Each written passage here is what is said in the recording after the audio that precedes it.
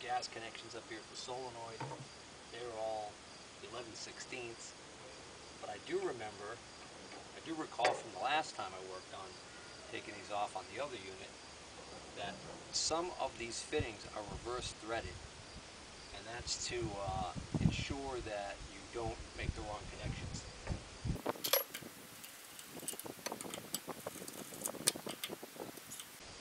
You know, water, coolant connection to the torch is reverse thread.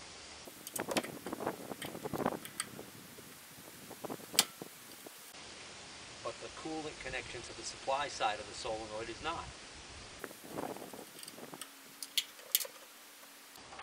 These big lugs are three quarter inch.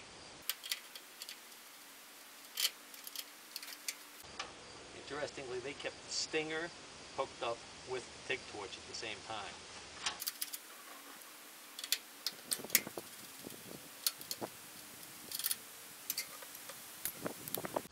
Well, I just laid out the TIG torch and took a rough measurement and uh, it looks like it's about a 20 footer. I think the other one I have might be about a 25. But uh, they uh, didn't leave me any hose to go to the uh, cooler on this end. Looks like they just had a few feet and they cut it.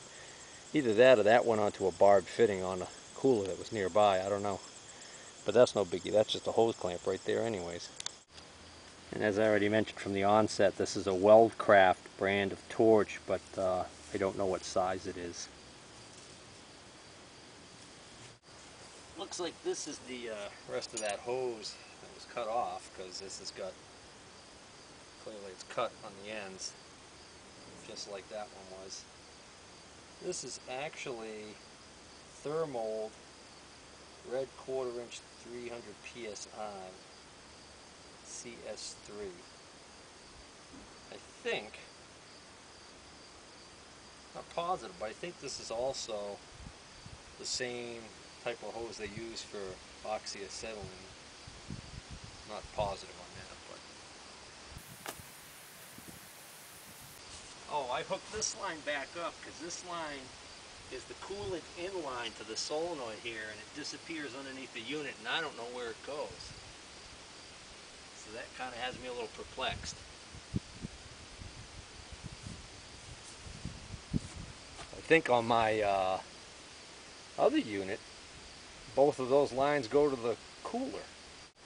This will be uh, an extra gas line, shielding gas line. It's got the fittings right on it that match the other unit, as long as it doesn't have any holes in it.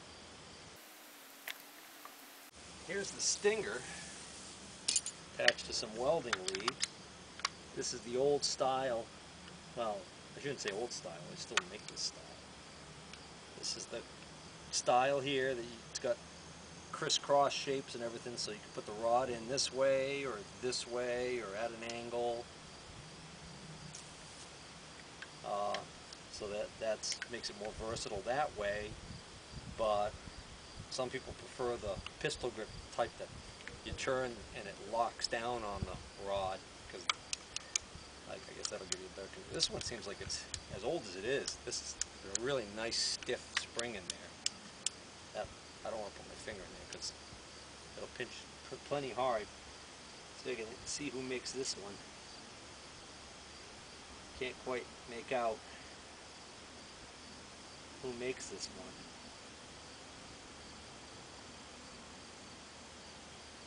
And I guess somewhere on here there should be a rating, how many amp this is. I don't see that either. They've long since worn, worn away, I don't know.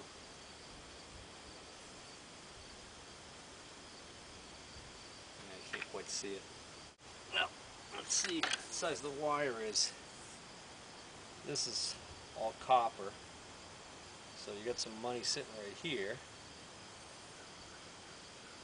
Carol Arc welding cable. Vu-Tron. Number two. So this is a lot lighter than the cable that came with my unit, my uh, with my other Airco unit. But this is only a 200 amp unit, so I guess that makes sense. That's a pretty long cable. I don't know how many feet I've got there. I'm not going to unwrap this right now, but I don't know. I don't know if I'll use this as an extension cable or if I'll just sell it the way it is or scrap it. You know what? That. That's got some bad damage right there. That's new. That just happened. Not when I was unloading it, but in its recent lifetime because you can see the clean. It looks like it's been bitten a couple of times here and there. See the tape here, here, here. I might just scrap that just for the copper.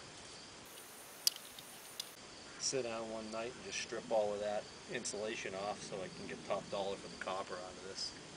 It feels like,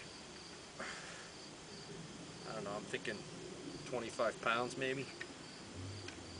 Yeah, yeah, I unrolled the whole thing and walked it to get a rough estimate and it looks like it's going to be a 50 footer on the dot.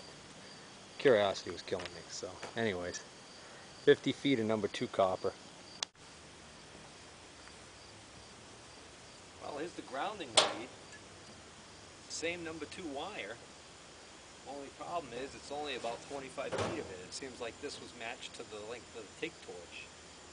So they must have had an additional grounding lead somewhere that they were using when they would stick weld. Huh.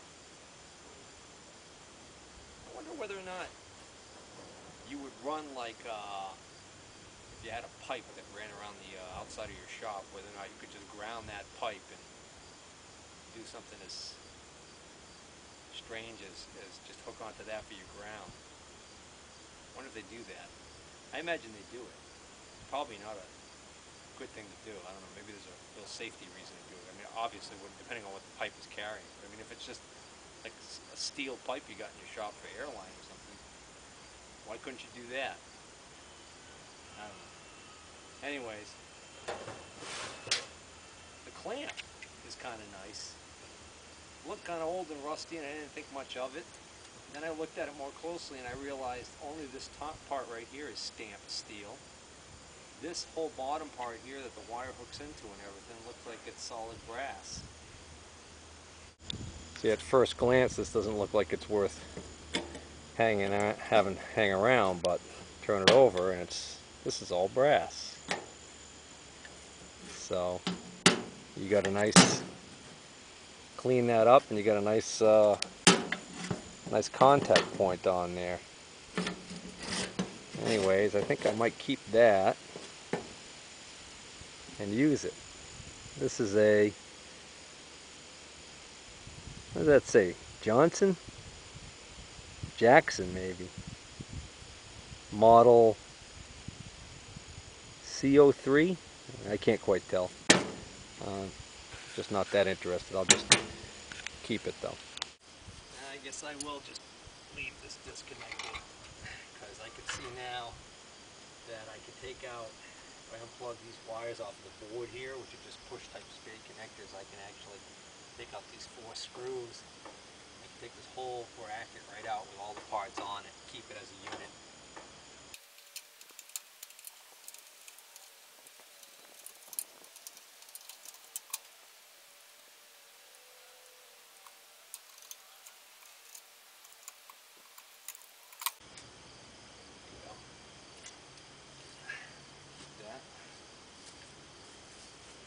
Well, it's funny I said I didn't have a schematic diagram for this unit. It's right here on the inside of the back cover. Here's your, uh, basically this tells you how to make your connections. This is the dead giveaway also if you didn't already realize that it was three phase. The fact that you've got L1, L2, and L3. If it's a single phase unit you'll see L1 and L2 and maybe a neutral one uh, and of course a ground, but you won't see L3.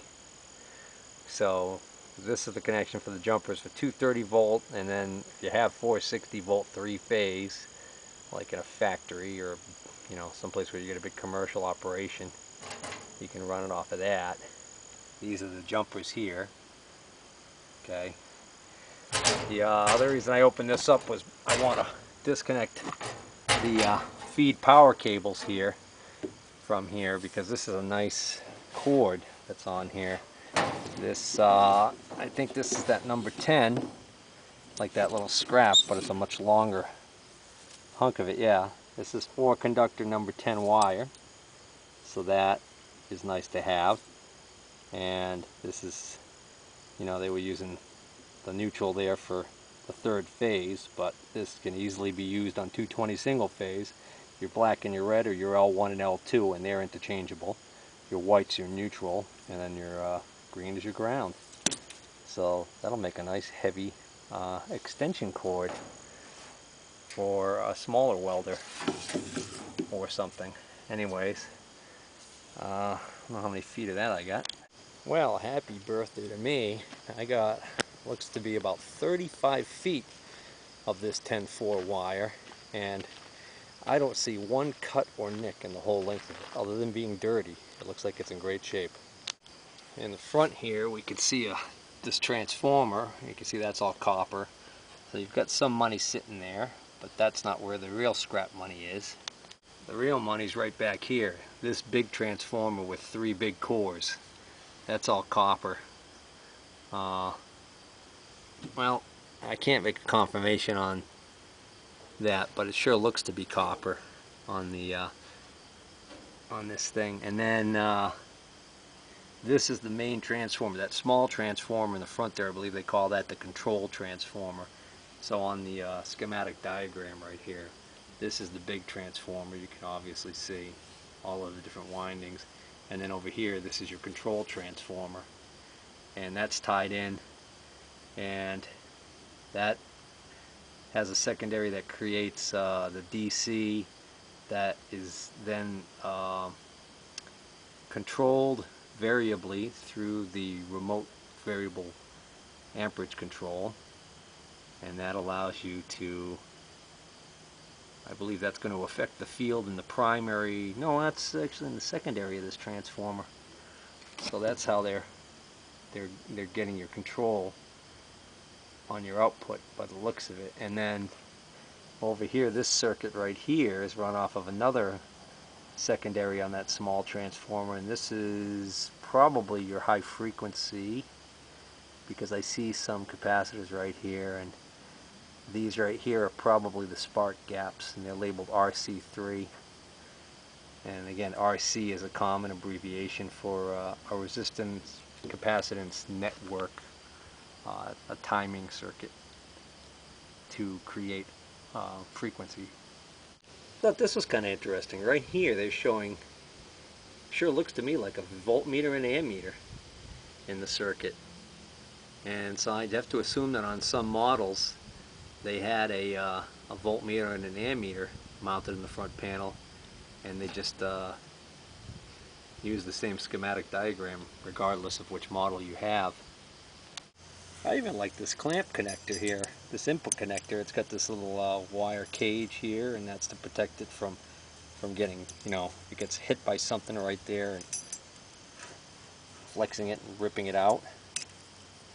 That's a, uh, I don't know what they call that kind of connector, but I bet you if you went to buy one the electrical supply, they'd probably get you 15 or 20 bucks for that thing. I might just repurpose that on the other welder. Well, I'm getting ready to wrap it up. Unfortunately, I'm out of time today to uh, enter the scrapping phase of the project here. The um, This hose, it just goes underneath, and then there's an interesting kind of clamp that's clamped to the frame uh, under, underneath there, so that must ground, that must uh, provide a ground for the coolant uh, to, to make the coolant a ground path. So uh, that's the nearest I could figure for that. And then the hose is just cut off. So that hose probably originally came back out on the other side maybe and went to the cooler. Um, so I'm just going to hook this thing up and drive it out of here so it's not sitting here in the yard. And then uh, next time I uh, work on this, I'll be taking off the sides.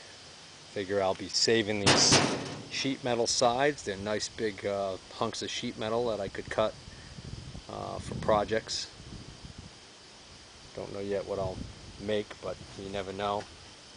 I used to just take that to the scrap yard, but when it's a nice large sheet like that, two of them to be exact, and might even be able to use the top for something. Looks like the top comes off real easy. A few screws, but uh, I'll save that for next time.